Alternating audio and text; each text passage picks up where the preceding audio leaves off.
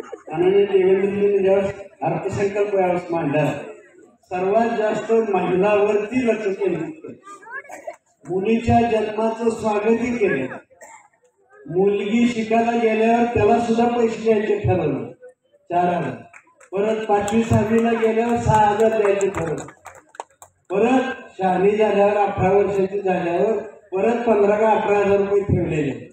मला असं वाटतं की आता मुलीची चिंता देवेंद्रजी फडणवीस करणार आहे त्याच्यामुळं म्हणजे काय माहीत नाही. काय यावेळेस महिलावरती फिदा झाले साहेब. देवेंद्रजी फडणवीस प्रचंड महिलावरती फिदा झाले. महिलांच्या बचत गटासाठी सुद्धा इथं जे उत्पादन करणार आहे त्या उत्पादनाला मार्केट मिळावं. म्हणून मुंबईमध्ये जसे आपले मॉल असतात ना तसं बचत गटाचे मॉल तिथे करायला ठरवलं.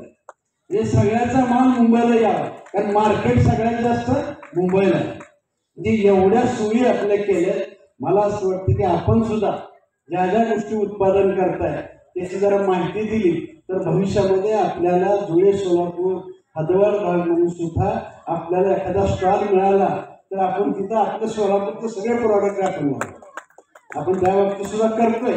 म्हणजे सोलापूर सोशल फाउंडेशन तर्फे आपण वेगळं प्रदर्शन म्हणून आपण त्याला विक्रीची सोय केली. पण राज्य सरकार करणं वेगळं आणि एखादी संस्था करणं वेगळं. एखाद्या संस्थेच्या मर्यादा.